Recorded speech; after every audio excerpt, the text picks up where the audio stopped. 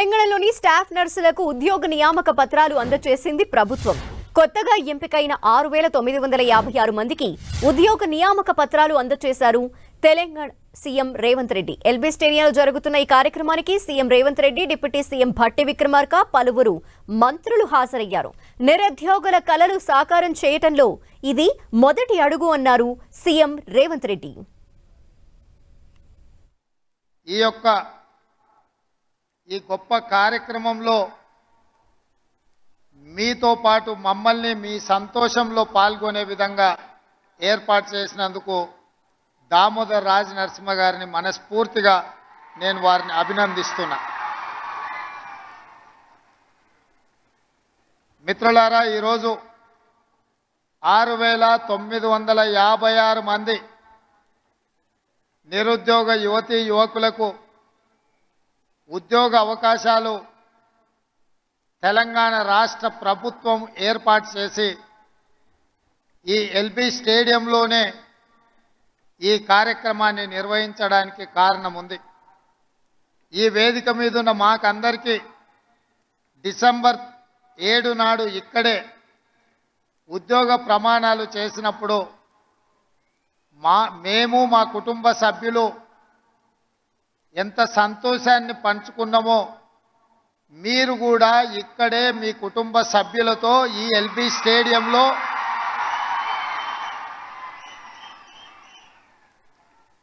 మీరు ఆనంద పర్వదినము గడుపుకుంటుంటే మేమందరం మీ కుటుంబ సభ్యులుగా మీ సంతోషంలో భాగస్వాములు కావడానికే ఈ కార్యక్రమాన్ని ఇంత పెద్ద ఎత్తున మిత్రుడు దామోదర్ రాజనరసింహ గారు ఏర్పాటు చేసింది.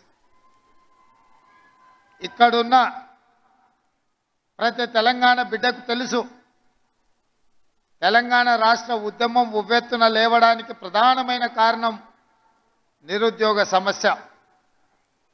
ఈ ఉద్యోగ నియామకాల కోసమే లక్షలాది మంది తెలంగాణ విద్యార్థులు నిరుద్యోగ యువకులు తెలంగాణ ఉద్యమ బాట పట్టి తెలంగాణ రాష్ట్ర సాధనలో ముందు బాగాన నిలబడి తెలంగాణ రాష్ట్రాన్ని సాధించుకున్నారు.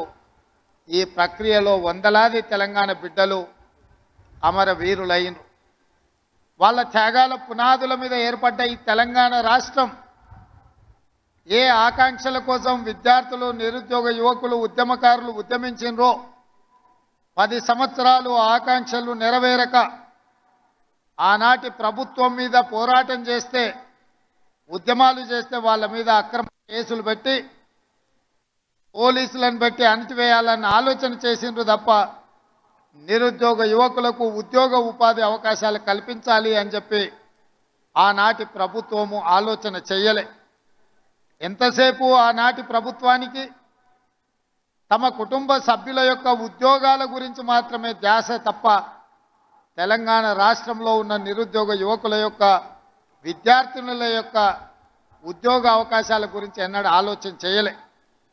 అందుకే పది సంవత్సరాలు సుదీర్ఘంగా ఎదురు చూసిన విద్యార్థిని విద్యార్థులు ఇక ఈ తెలంగాణ రాష్ట్రంలో మాకు ఉద్యోగాలు ఇస్తా అని భ్రమ పెట్టి మమ్మల్ని వంచిన వాళ్ళను వాళ్ళ ఉద్యోగాలు తొలగిస్తేనే మాకు ఉద్యోగాలు వస్తాయని మీరు కంకణ బద్దులై మీ ఉద్యోగ ఉపాధి అవకాశాలలో మిమ్మల్ని మోసం చేసిన వాళ్ళ యొక్క ఉద్యోగాలు తొలగించడంతో ఈరోజు మీ ఉద్యోగాలకు ఉన్న అడ్డంకులు తొలగిపోయినాయి.